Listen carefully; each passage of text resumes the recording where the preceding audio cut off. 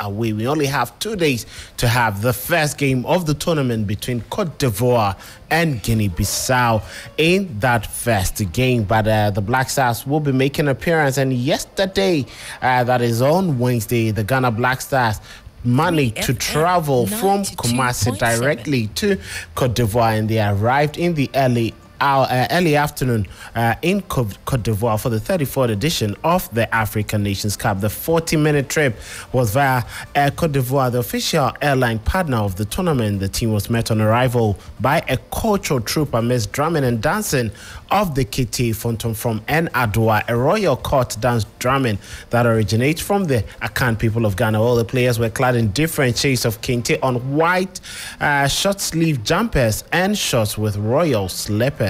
Now, the Black Stars were later driven to the Pullman Hotel in Abidjan, where they will be based during the group stage of the tournament. Well, very, uh, very, very nice and beautiful outfits there for the Black Stars who were clad in those beautiful kente cloths over the jumpers. Now, former Ghana goalkeeper Fatau Dauda has shared a word to the team if they want to succeed at the African Nations Cup. These are the values they need to cherish.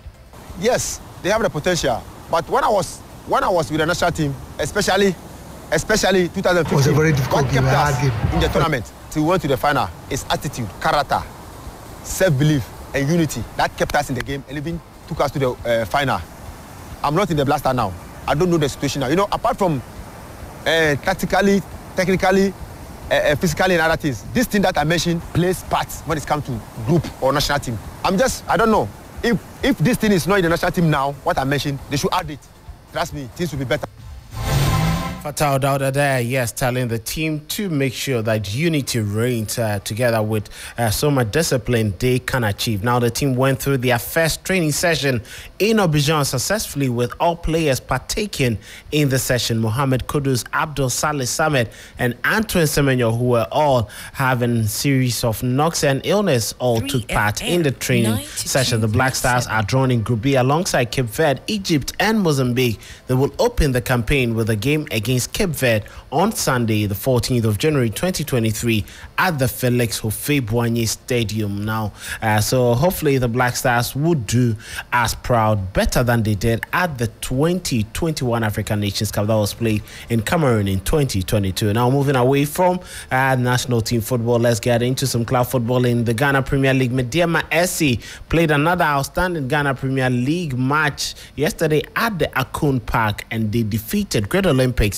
by one goal to nil. Yes, uh, uh, Mamadou yeah, managed to score the sole goal separating the two sides. So Great Olympics losing away to Medeama SC. Now Dreams FC also recorded a 3-1 victory over Bofoakwa Tano. Agyenim Boateng scored a, uh, one goal there and then Abdulaziz Issa was on target. He scored twice. Winfred Domon is the assistant coach of Dreams FC. It was a very difficult game, a hard game. For the past four games, in fact, since we returned from the Africa, our results has not been consistent, right? The last home game we played here, we struggled to even drill with Accra Lions. We play out a 1-1 game. So we knew very well that this game, we need to respond. And the response must be solid. And clearly we showed with character, we showed with determination. We imposed ourselves on them. We scored two goals in the first half. Yes, they also managed to pull one. Second half, the plan was to make sure we get a pushing goal, and that is why I reacted in that manner because the third goal was the killer. The third goal was what you know confirmed a solid performance and a solid result. It was a deserving game, but Bofokwa is not an easy side. Bofoakwa wasn't an easy side, but Winfred Domon continues to be impressed with the strength of Dreams FC's attack. Abdulaziz Issa and then uh, Agyenim Boateng, but he hopes that John Antwi, with his experience, will start scoring soon to help the team. A rehearse goal from the last training session. I mean, the delivery also from the day was was was solid. Early journey timing and arriving in the penalty box was spot on. And it's good that Agyenim is scoring. We are left with Antwi. And I believe at the right time, entry will also start scoring. The good thing is that Aziz is in fantastic, devastating form. He's scoring both in the Ghana Premier League, he's scoring in the FA Cup, he's scoring in the CAF uh, Confederation. So, I mean, it's a good team. Dreams FC is a team that plays expansive football. It's a team that want to score more goals. And clearly from this game, the uh, goals should have even be, be more. So that is Winfred Drummond there. Now to Tano Bofoakwa head coach John Eduafo, who wasn't really happy after the loss, but he hopes that they will come better in the subsequent games. We played well. I would say their game plan actually worked for them. And we couldn't get our rhythm to play the way we want to play. Some simple slide mistakes in the defense. We considered two other goals. But on the whole, it was a good game. We, we played well, just that they had their chances and they scored. When the ball is sent to the attack, our attackers' ability to keep the ball and hold it there and do something with it, that was the problem. And so they easily lose the ball quickly and then the transition. Before you are aware, the ball gets into our defensive zone. And the defenders have been defending very well, just that they got tired. And as a result of tiredness, they make those simple mistakes. So John Eduafo there, but he hopes that their game against Medeama SC on Saturday at the Tarkwa Akoon Park will be a good game to end the first round very well. Sorry, it's not over yet. We still have one outstanding game to play against Medeama uh, coming Saturday. From here, we are going straight to. We are going to rest there and play the game on Saturday. It is when we are done with the first round, then I can have something to say. So that is John for there. Now let's move away to Accra Lions Football Club, and they have announced a partnership with Photon Sports Technologies, AB leader in sports tech innovation. This is expected to support the development of speed, agility, and quickness for the Lions players. The Ghana Premier League club have become the first client for Photon Sports Technologies, who bring revolutionary 3D technology, a breakthrough that is uh, helping in tracking football key abilities for speed, agility, and quickness. Accra Lions physiotherapist Calais Bryan said partnering with Photon Sports is a strategic move to enhance our team's capabilities using data driven insight. So, very good information there for Accra Lions, and I'm sure it's going to help them get better in the second round of the Ghana Premier League. Now, away from that, Liverpool yesterday won by two goals to one against Fulham in the EFL Cup. Willian managed to get the opener, but Liverpool came stronger through Cody Gakpo and Curtis Jones to make sure that Fulham weren't able to run away with the victory. Now, coach for Fulham, Marco Silva, was happy with his team's performance, saying they'll make a real go of it in the second leg when they get to the Craven Cottage cannot after consider when, when one we have to be mature enough to control that moment to manage better the moment cannot give a chance for Liverpool after the 1-1 to to make a fast attack on ourselves when you are 1-1 away from home in two legs competition and this is the, the main thing that we have to learn clear, clear from these moments happened the same one month ago for the for Premier League and really quick we have to learn from this moment. Yes, um, Bernd kept us on the on the game really. Um, that moment was a really tough one for us. Uh, we struggled a bit that last minutes of the the game, and Bernd, um, an amazing goalkeeper that he is, um, kept us on the the game, kept the competition open, um, the, the, this stage open, and we are going to go for it at Craven Cottage. We need our fans there. We need really to to be at our best level to beat Liverpool. So that is Marco Silva, coach for Fulham, now to Liverpool boss Jurgen Klopp, and he says his side are deserving of their upcoming days off after yet another excellent comeback victory. Because we didn't play bad, just didn't play good as well. It was a normal game and they go 1-0 up. So we had to adjust there as well. Last line had to protect higher, which is tricky. Jimenez was there, Willian was there, so it's really tricky. But besides that, we did much better, obviously, and um, created chances, scored goals, won the game. Um, the boys changed it, or turned it around again, and I think fully deserved in the end. Um, we won this game, but of course it's only first leg, and um, we know that we have to go there. But for now, it's fine. That was always clear that it's two legs, two tough legs. Um, Fulham is still in. That will, that's the way they will see it. That's we know as well. So, um, now a couple of days off really important, and um, then we will go.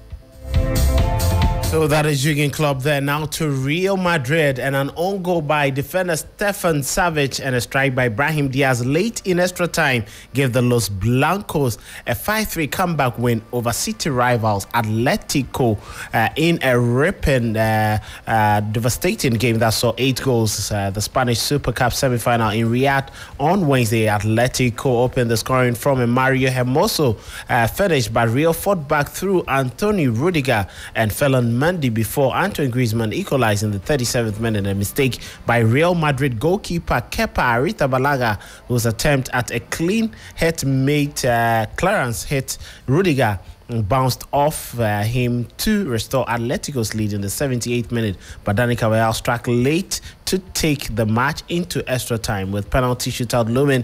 A header bounced off Savić into Atletico's net five minutes from the end of extra time. In the last play of the match, Diaz finished off a counter attack into an empty net after Jan Oblak went up to Real's box in a desperate attempt to equalize for from the corner kick.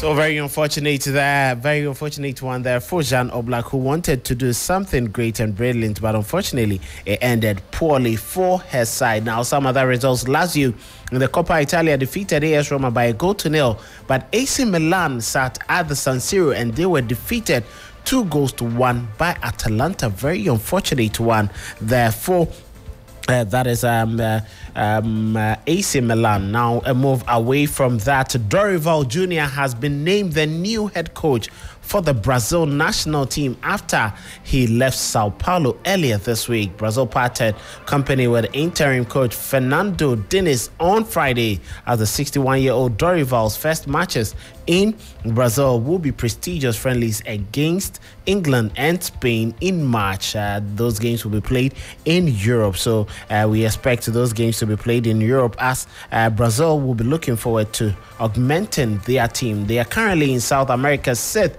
and final automatic qualifying place for the World Cup in 2026. Uh, so I'm just hoping that things will go on very well for uh, that is uh, his side. Uh, but uh, he also led Flamengo to the Copa Libertadores title and the Brazil Cup in 2022 before joining Sao Paulo. Now let's stay with some news in Brazil, but this time around, as for a player and Lucas Paqueta, midfielder for West Ham United, could be sidelined for at least two months with a calf injury. The Brazilian suffered a recurrence of the issue in Sunday's FA Cup draw, with Bristol City having initially been injured against Arsenal at the end of December. So without Kudus Mohamed, West Ham would have a long way to go in trying to keep uh, their players fit. So as it stands now, he may not be able to return in very good time to play the other games well. So we're expecting some recovery for him. Paqueta is set to see a specialist to determine the length of time he is going to be out. Very unfortunate one there for Lucas Now, uh, some worrying news from the Netherlands and ex uh, Arsenal winger Marc Overmars has had a suspension from holding a post in that football extended to uh, the global ban by world governing body FIFA. In a statement, uh, the punishment followed his sending a series of inappropriate messages to several female colleagues while he was director of football at Ajax. Overmars is now 50 and left his role in February 2022.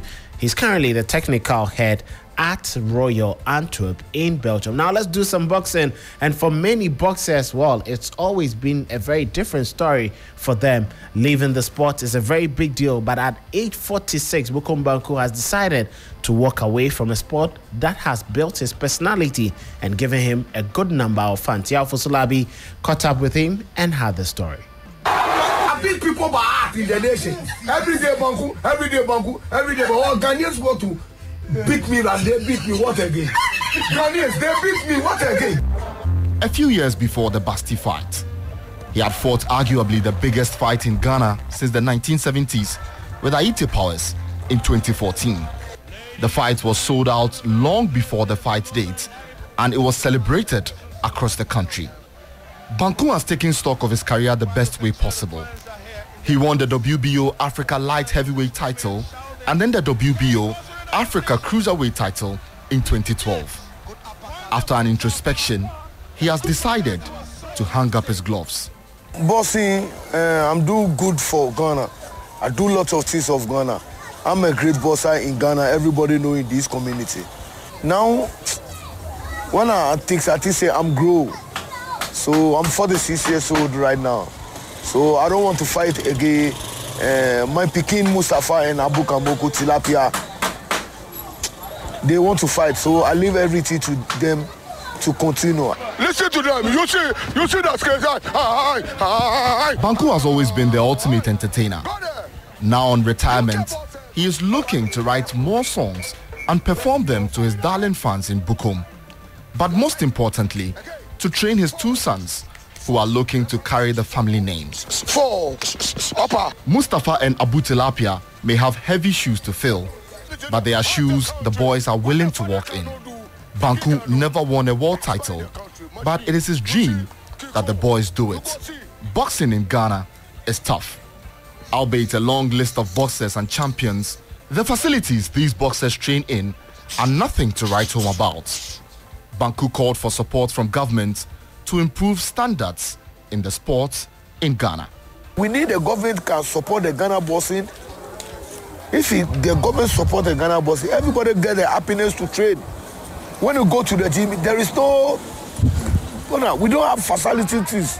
We don't have bag, pad, everything. We need the government come and support that thing for, for Ghanaians because the world champion, the great bosses all day for and this community. Buko. Yes, you should say something, man. For firebrands like Banku, the love for boxing will never die. He may be out of the sport now, but he will always have one eye looking in and leave a hand to help anyone who needs it. TV3, I'm the king of the Buko. Nobody. Say Bankueba. Well, Bukom Banku finally drawing the curtains on his career. Now, another audacious and charismatic boxer, UK-based Ghanaian boxer Freezy McBones has chosen to withdraw from the Ghana Boxing Federation team seeking slots for the Olympic Games in Paris 2024. Now, Sejima, as he's originally called, competed for Ghana in Dakar, Senegal last year with hopes of securing a place at the Olympics, but lost to homeboy Seydou Konate in the preliminary stages, albeit under controversial circumstances. The hard-hitting boxer come promoter was scheduled to travel with the Ghana boxing team to Italy in February, but in a letter, McBones has revealed his intentions to focus on his professional career as well as his promotional venture.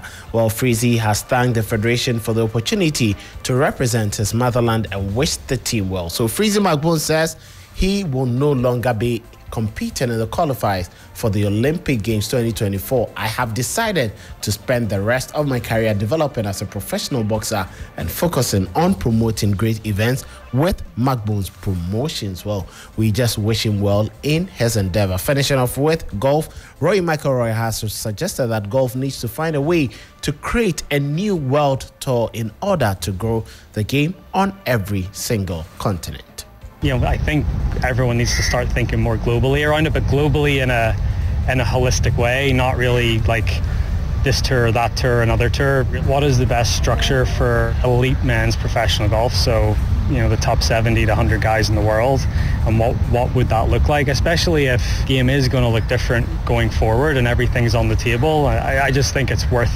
having that conversation. The PGA Tour has proved over the last 20 or 30 years that corporate America is very interested in the game of golf for a number of different reasons and um, you know America is still a huge market for our game but I think because a market America has become such a huge market it's maybe not let other um, markets around the world thrive as well and, and if we can sort of all start to work together a little bit more I think you know a, a rising tide lifts all ships or, or all boats and um, that would be sort of the mindset that I would that I would um, I guess come to you know, that thinking of what the best thing is for, for professional golf.